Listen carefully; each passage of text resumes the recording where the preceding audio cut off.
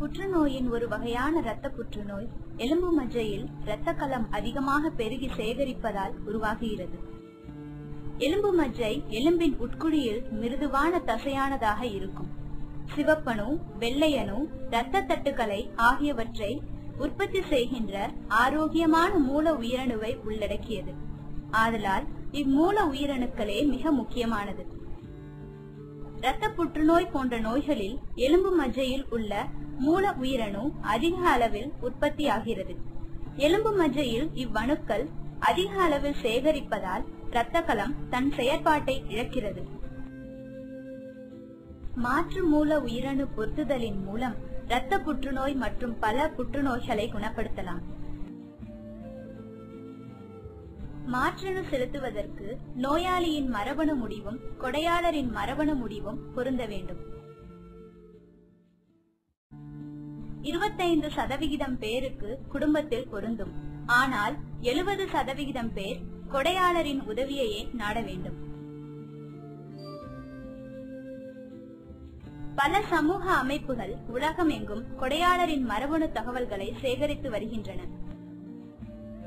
மாற்றணு பொருத்த மருத்துவர்கள் இப்பதிவகங்களை அணுகி தங்கள் நோயாளிகளுக்கு சிகிச்சை அளிக்கலாம். உலகம் முழுவதும் கோடிக்கணக்கான கொடையாளர்கள் சர்வதேச பதிப்பகத்தில் பதிவு செய்துள்ளனர். ஆனால் இன்றளவில் இந்தியாவில் மிக குறைவான கொடையாளர்களே பதிவு செய்துள்ளனர். இதனால் நம் மக்களுக்கு சிகிச்சை அளிப்பது கடினமே. தாத்ரி இரத்த மூல உயிரணு கொடையாளர் பதிப்பக தொண்டு நிறுவனம் உலகளாவிய அளவில் உயிர்களை காப்பாற்றவே. மக்களிடம் விழிப்புணர்வு ஏற்படுத்தி இந்தியாவில் மூல உயிரணு கொடையாளர் பதிப்பகத்தை கொண்டு வருவதே எங்களின் குறிக்கோள்.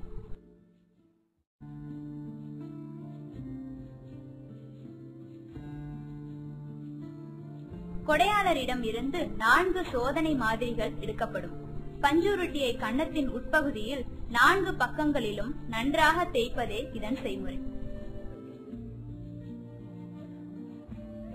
In India, the chance that a patient can get a match-related donor from the international registry is very small because most of those donors are of Caucasian origin. It is therefore necessary that we have registries developing within the country that will have large numbers of people who have been HLA typed and are available to provide stem cells if needed for patients in this country.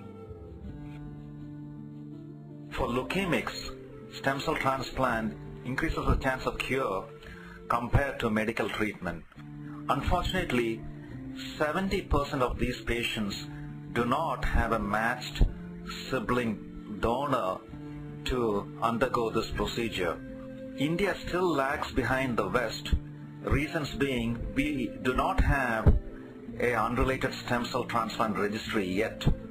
If we start a Indian unrelated donor registry for stem cell transplant, my guess is at least 40 to 50 percent of these patients would find a match and subsequently undergo the stem cell transplant.